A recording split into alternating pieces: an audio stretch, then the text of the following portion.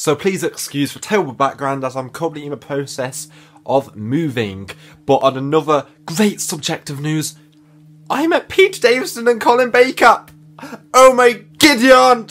So um, it's been a while since I've made a video on my channel. It's been a long time, I know.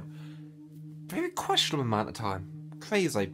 But today I thought I'd make a bit of a comeback in this video and talk about my favourite Patrick Troughton seasons all in order. So rank them from the worst to the best. In a way, there's no worse Patrick Troughton seasons to go on because he's my favourite Doctor. I love his seasons, but I prefer others to some.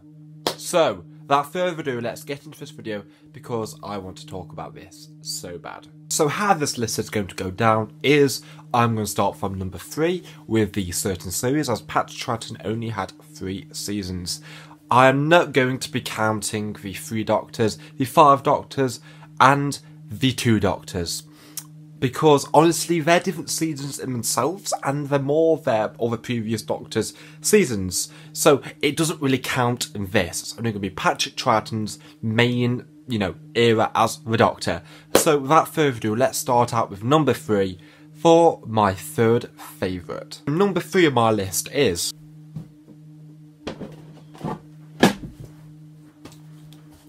Series 6. Now, a brief bit of history of Series 6 before we get into this. It was Patrick Troughton's final series as the Doctor, and it was the series where he had Zoe Heriot um, as his companion with Jamie McCrimmon, continuing another season after he came on in Series 4. Now, the reason I've put this at number 3 on my list is because the stories aren't as good in my opinion. I still think this has some great stories. The Invasion is a classic. The War Games is an epic 10 part story. And I even really like the Space Pirates, even though what other people say. I've even made a video on that, so if you really want to see that, it's going to be in the description below. It's also one of the less missing seasons for Patrick Troughton's Doctor, which is absolutely fantastic because you can watch more of his stuff and really get to know his Doctor throughout Series 6, unlike Series 4.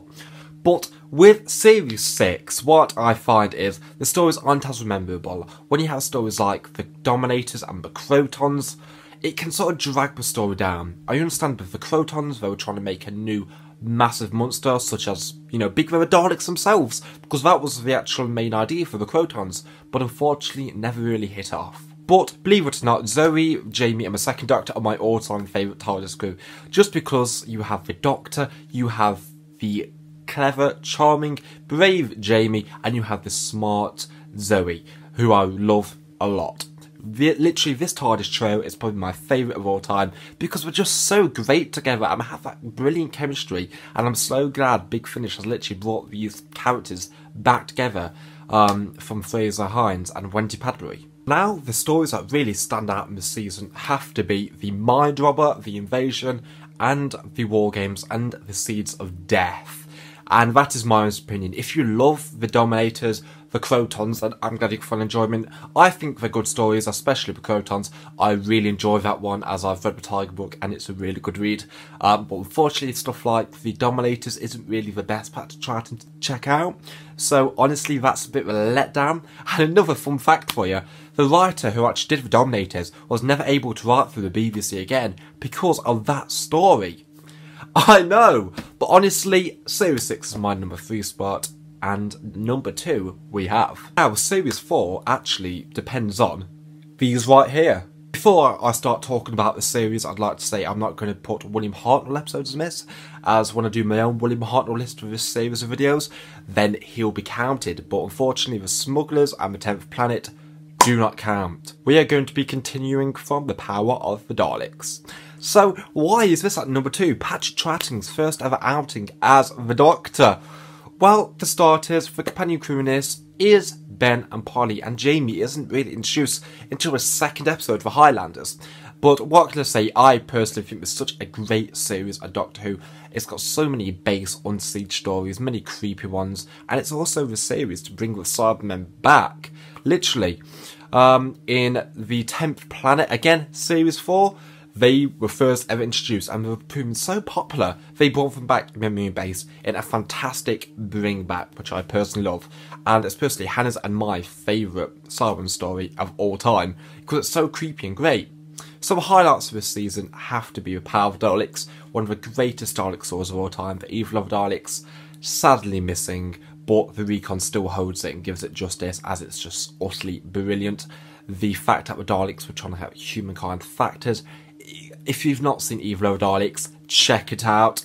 And probably other stories, such as my personal opinion right here.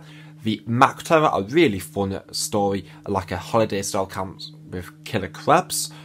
And apart from that, The Highlanders. The Highlanders There's also a first appearance of Jamie McCrimmon, as I mentioned, the longest running male companion and companion of all time in Doctor Who, as he was with the Doctor throughout all his seasons from season 4 to 6.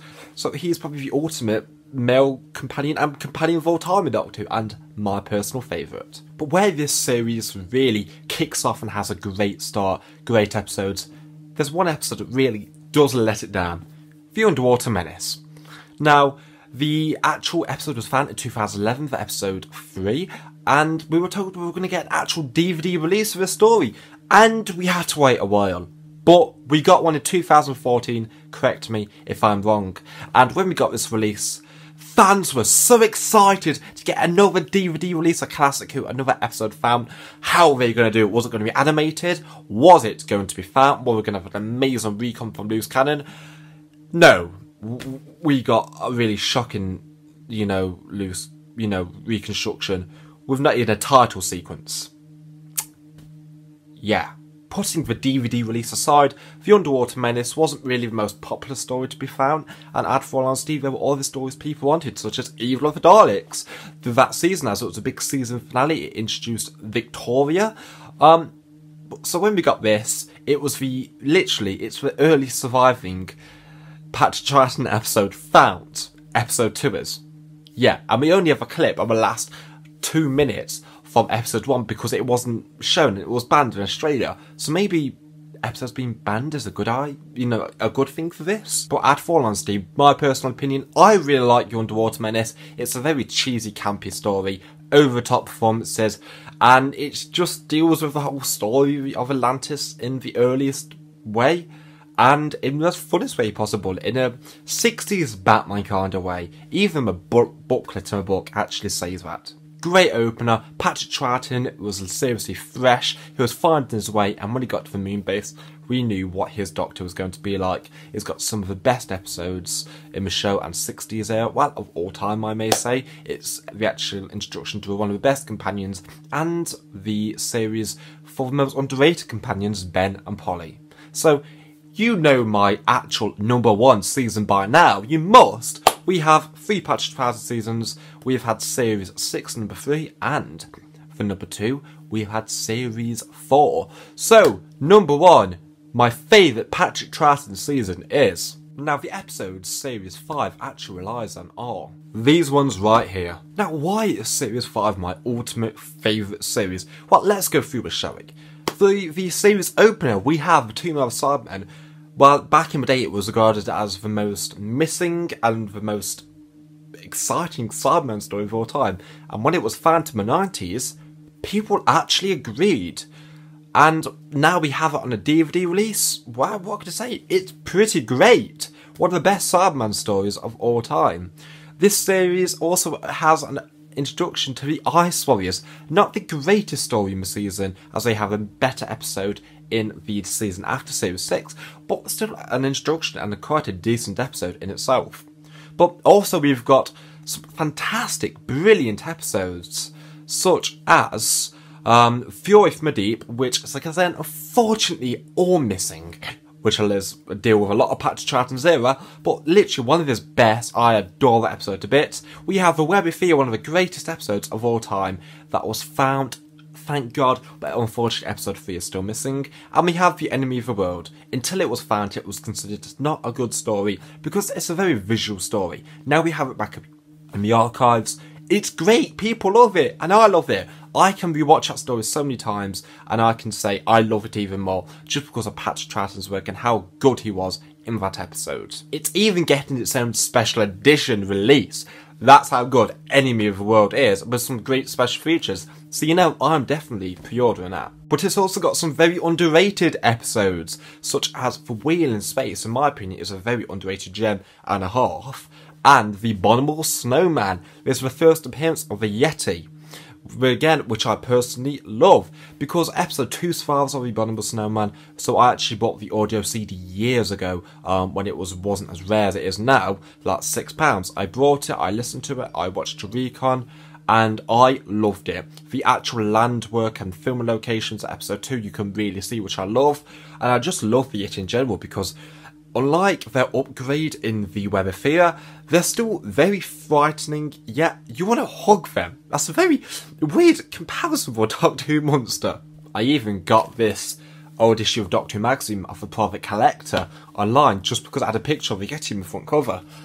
That's how much I love the Yeti. And that series also introduced us to the character of Professor Travers, who's a, again like a Sabres regular in a way, for Series 5. And while on the subject of series regulars, Nicholas Courtney as the Brigadier makes an appearance for his first time in the Web of Fear. Unlike the Daleks' Master Plan, he was playing Brett, Sara Kingdom's brother, but in this, he plays the Brigadier, but not Lethbridge Stewart, Colonel. He plays Colonel Brigadier Lethbridge Stewart. Fantastic piece. I love it. Unfortunately, the episode where he first comes in is missing, but let's hope it's found or animated at least one day. So, a highlight for Series 5 has to be, my opinion, a majority of the episodes.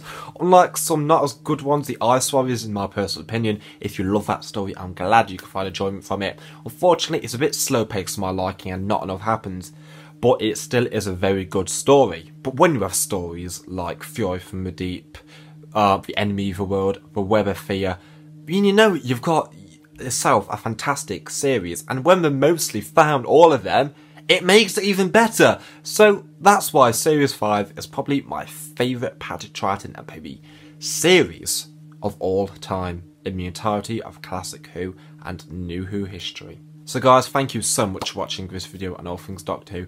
I do apologise for my absence, it's been a very hard time because unfortunately the iPad crashing, not working as much, it's hard to make videos, but I thought I'd make this at as it's like a passion project I've always wanted to make. But before I go, I'd like to ask what are your favourite Patrick Troughton seasons? So out of the ones I named in this video, if you're not entirely sure, go back in it and you'll find out completely. Thank you so much for watching guys. See ya.